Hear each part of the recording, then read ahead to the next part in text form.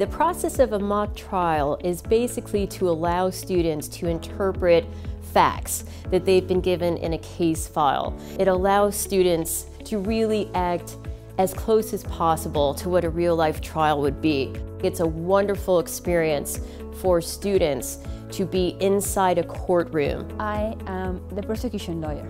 We'll be asking you to rule in favor of the prosecution by finding Dominic Stephens guilty. What I'm trying to do in this case is to convict the defendant.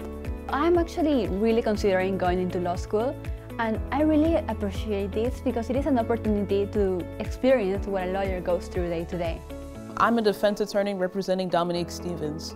As a defense attorney, it's my job to place reasonable doubts into the judge or uh, jury to make sure that the defendant gets a fair trial. I've always wanted to be a lawyer. I've truly grown to love the learning about law process and how it all just comes together. Prince William County students are just fabulous students to work with and you know it, it helps the uh, the profession. Um, we're, we're raising um, young lawyers. So I think it's an exciting program for students that have an interest in pre-law. Every day that I meet with the students, I'm really kind of stunned at how fabulous they, that they are.